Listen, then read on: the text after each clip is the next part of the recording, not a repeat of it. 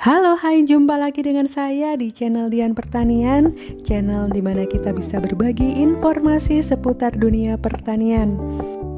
Oke, di video kali ini saya akan berbagi tentang cara membuat asam amino yang sangat bermanfaat bagi pertumbuhan tanaman.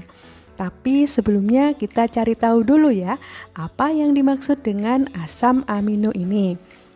Oke, jadi asam amino adalah senyawa yang memiliki peran penting di dalam pembentukan protein. Secara umum, tanaman mampu mensintetis asam aminonya sendiri melalui bahan dasar karbon, oksigen, hidrogen, dan nitrogen melalui proses biokimia yang kompleks. Akan tetapi, pembentukannya membutuhkan energi yang besar. Selain dibuat oleh tanaman sendiri, asam amino juga dapat diperoleh dari luar dengan cara memberi pupuk asam amino.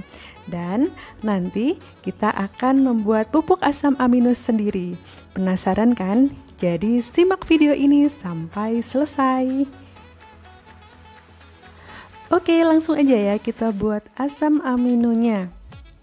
Jadi untuk membuat 1 liter asam amino, maka bahan-bahan yang kita butuhkan di antaranya adalah lele sebanyak 250 gram, kemudian susu murni atau susu cair UHT 250 ml, kemudian gula jawa 250 gram, bakteri pengurai 100 ml, dan air secukupnya untuk menghaluskan lele.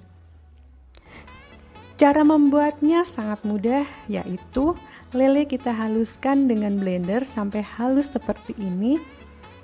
Gula jawa juga kita haluskan.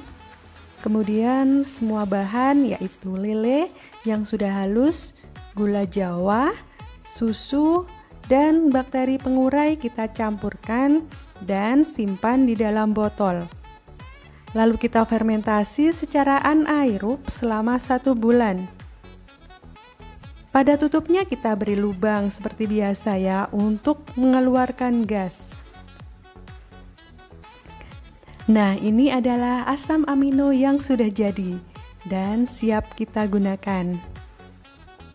Dosis penggunaannya cukup sedikit yaitu 2 sampai 3 ml per liter air dan bisa kita aplikasikan setiap 7 hari sekali bersamaan dengan penggunaan PGPR, POC dan juga zat pengatur tumbuh yang sudah kita buat kemarin.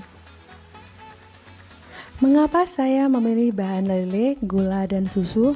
Yang pertama, saya memilih lele karena lele memiliki kandungan protein yang tinggi mengandung natrium yang berfungsi untuk pembukaan stomata, serta mengandung fosfor dan kalium yang sangat berguna untuk pertumbuhan tanaman.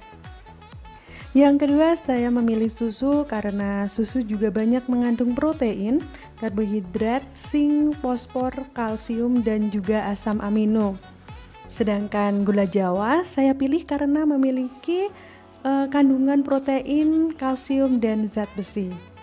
Jadi dari ketiga bahan ini setelah kita olah maka akan menjadi larutan yang mengandung asam amino dan juga unsur hara makro mikro yang sangat berguna bagi pertumbuhan tanaman kita. Oke, demikian tadi cara pembuatan asam amino. Sangat mudah bukan? Semoga bermanfaat. Selamat mencoba. Terima kasih atas perhatiannya dan salam organik Indonesia.